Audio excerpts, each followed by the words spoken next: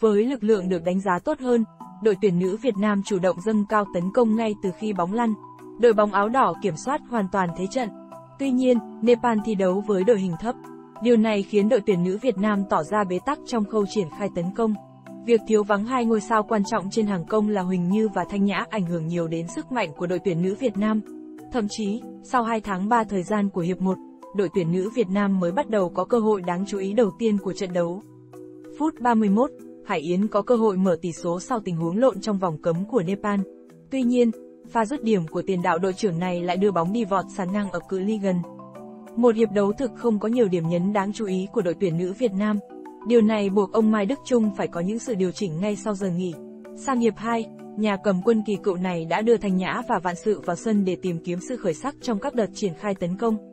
Thực tế, sự xuất hiện của bộ đôi này nhanh chóng giúp đội tuyển nữ Việt Nam chơi hay hơn. Các tình huống dàn xếp tấn công của đội bóng áo đỏ cũng đa dạng hơn trong hiệp 1. Sau những nỗ lực không biết mệt mỏi, đội tuyển nữ Việt Nam cuối cùng cũng đã tìm được bàn thắng khai thông bế tắc.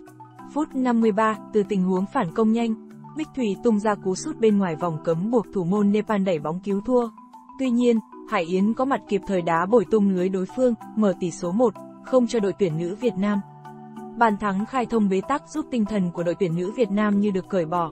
Đội quân của ông Mai Đức Trung càng chơi càng tốt hơn. Phút 64, xuất phát từ tình huống tấn công bên cánh trái, Dương Thị Vân truyền bóng vào trong vòng cấm để Bích Thủy chọn vị trí khôn ngoan đánh đầu tung lưới Nepal, nâng tỷ số lên 2, không cho đội tuyển nữ Việt Nam. Sau khi có được khoảng cách hai bàn, đội tuyển nữ Việt Nam vẫn chưa muốn dừng lại. Hải Yến cùng các đồng đội vẫn đẩy cao đội hình tấn công để tìm kiếm thêm những bàn thắng nữa. Dẫu vậy, trong những phút còn lại, Nepal chơi nỗ lực, bảo toàn mảnh lưới không để thua thêm. Đội tuyển nữ Việt Nam khép lại trận đấu với chiến thắng 2, không trước Nepal.